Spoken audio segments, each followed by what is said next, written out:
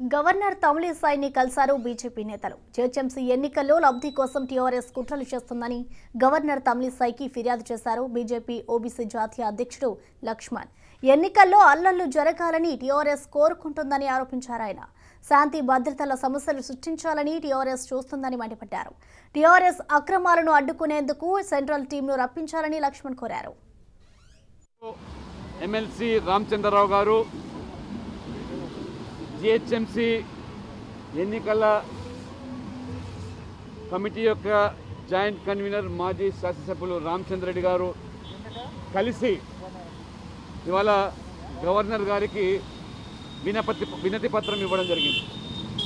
Corona నిబంధనల మేరకు ముగ్గురిని అనుమతించడం వల్ల మేము పార్టీ బృందంగా కలిసి హైదరాబాద్ మున్సిపల్ ఎన్నికల దృష్ట్యా అధికార టీఆర్ఎస్ పార్టీ పన్నుతున్న కుట్రలు పన్నాగాలు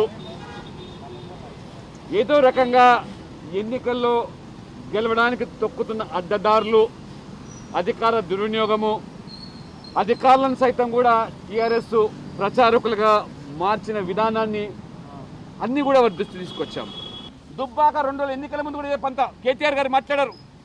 అల్లరి చేస్తా ఉన్నారు బీజేపీ. కుట్రలు పడుతున్నారు మాకు పూర్తి సమాచారం ఉందని చెప్పారు. కానీ చివరికి తుస్సుమన్నారు ఆ రోజు. అల్లరి లేవు ఏం లేవు. ఆ రోజు ఏదో రకంగా అల్లరి జరిపితే లాభం పొందుతాం. ఇప్పుడు కూడా ఏదో ఒక అల్లరి జరిపించాలనో జరపాలనో కోరుకుంటున్న మీకు ప్రత్యేక అబ్జర్వర్లు కూడా పంపించాల్సిన అవసరం ఉందని చెప్పి కూడా గవర్నర్ గారి దృష్టికి